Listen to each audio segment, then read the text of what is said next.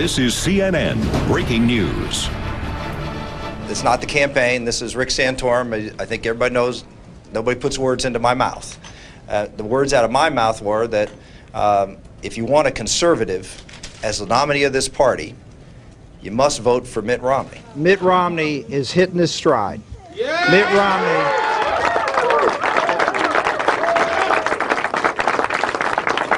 He is, he is speaking with clarity, with conviction, with the heart and the mind together, which is what conservatives want to hear. They're looking for that, and, and Mitt is stepping forward at the right time.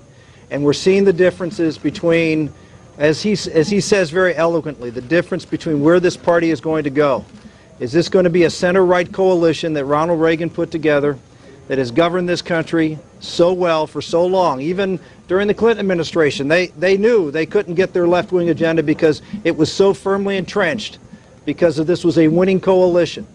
And were we going to give that up as a Republican Party? We're going to turn our backs and go back to the 60s and the 70s when, we, when, we were, when we were sort of foundering in the wilderness as cheap Democrats, basically. Uh, we didn't know who we were or what we were all about. We found our stride in 1980. It took us a while with Ronald Reagan. And through this primary, we haven't found our stride yet, but Mitt Romney is that voice, is the man, is the time, and Missouri is the state. This is the state, the winner take all primary, right here at the heart of America. Yeah. This is the state that will make the difference. I predict without question, Mitt Romney, when he wins Missouri, without question, he will be the nominee of the Republican Party. Yeah. Mitt? Thank you. Thank you, Senator. Thank you, Senator. Well, we're, we'll be happy to turn to you guys for any questions you have. Yes, sir.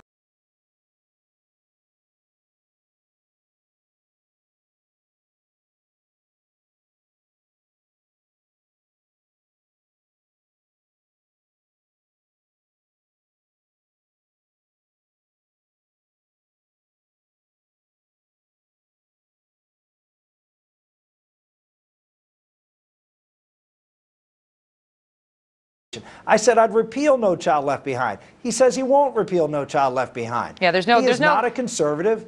That's funny. If there's anybody who's compromised his Mitt Romney, uh, you know, uh, is, is supporting is supported a government-run healthcare system. Mitt Romney, uh, you know, is is someone who ran as a as a as a pro-choice, gay rights uh, supporting uh, governor of, of, Massachusetts. I mean, you can go on down the list with Mitt, Mitt Romney supported big tax increases in the state of Massachusetts, huge spending increases. Uh, you look at my track record. I have a track record of being a strong, consistent conservative. For Mitt Romney to attack me as not being conservative is laughable. That Mitt Romney was, you know, when, when I was out there fighting No Child Left Behind, he was out there, you know, uh, you know, supporting and, and going to Planned Parenthood fundraisers. I'm standing up here as the consistent conservative in this race who, for, with, with President Bush's biggest initiative of his campaign that the American public supported, along with 90 other United States senators. I, I, I, voted for that. It was a mistake. I admit it. And unfortunately, Governor Romney continues to support those big government liberal programs. This is becoming a theme, right? You and Romney going after each other. Uh, he well, he I mean, also look, gave on the issue of earmarks, Megyn. I mean, he, he he supported earmarks himself.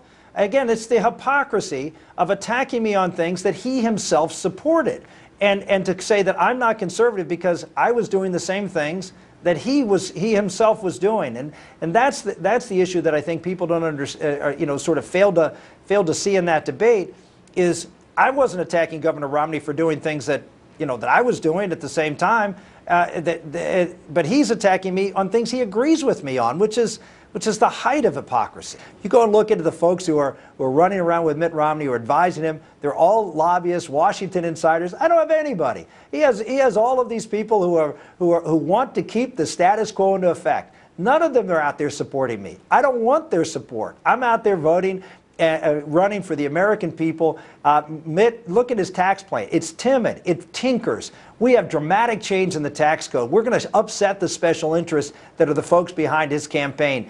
We're the guys out there that are that are making and calling for the big changes.